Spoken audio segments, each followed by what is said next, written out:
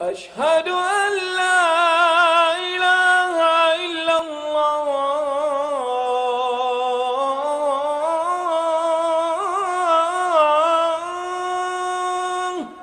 قل لله المشرق والمغرب يهدي. الهداية في لغة العرب هي الدلالة. هداه إلى الطريق إذا دله عليه وهداه إلى السبيل إذا أرشده إليه. فالهداية هي الدلالة. والهداية تكون عامة وتكون خاصة. منها ما يكون في أمور ومصالح الدنيا ومنها ما يكون في مصالح الدين. الله له هدايتان في خلقه.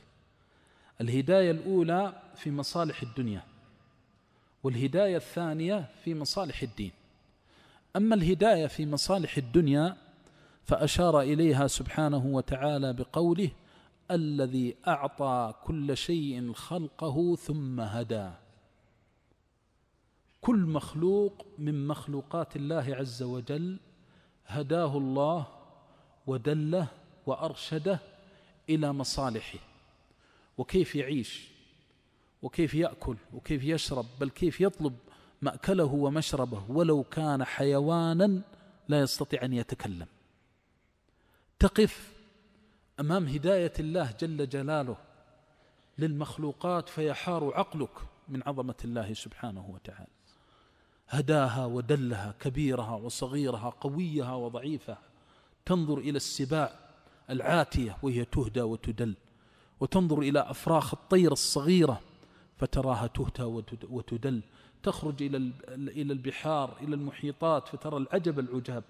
ثم تخرج إلى القفار والصحاري والبراري فترى العجب العجاب كل مهدي بهداية الله.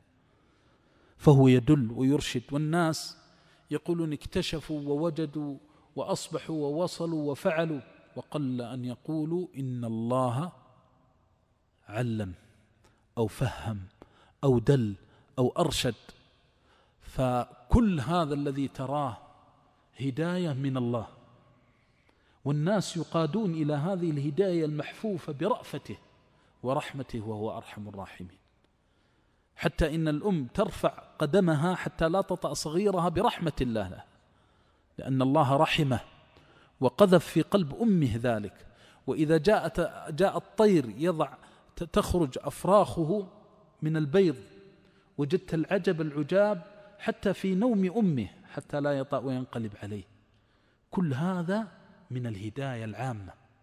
ولذلك قال مجاهد في تفسير هذه الآية أعطى كل شيء خلقه ثم هدى أي مصالحه في معيشته. وهذه المصالح تنتظم كل شيء حتى في الأكل وطريقة الأكل. من الذي علم؟ من يأكل كيف يأكل؟ من يأكل كيف يأكل؟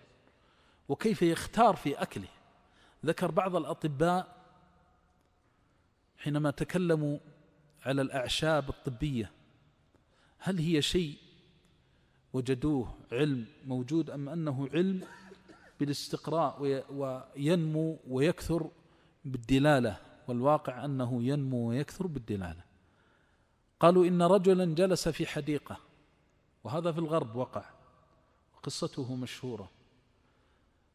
فإذا به يفاجأ بكلب مسعور الكلب المسعور أعاذنا الله وإياكم يفتك بأمه. إذا كان مسعورا في حال هيجانه.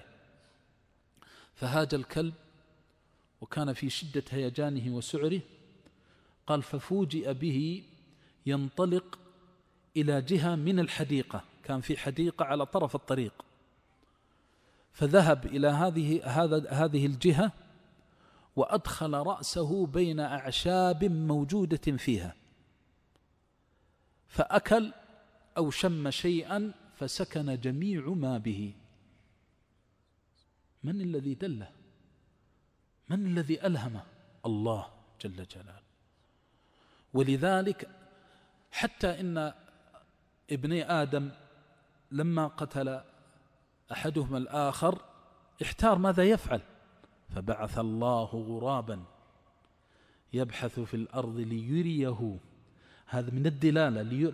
بعث الله. ليريه أي من أجل أن يريه.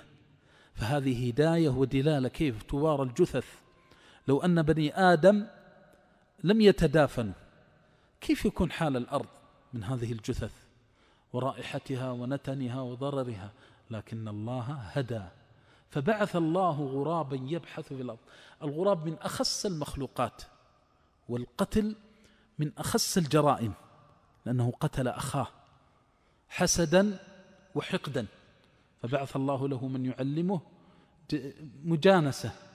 بعث له غرابا يبحث في الأرض ليريه كيف يواري سوءة أخيه ليعلم العبد أن هذا الكون ليس فيه شيء سدى وأن الله ما ضيع خلقه وأن كل شيء عنده بمقدار.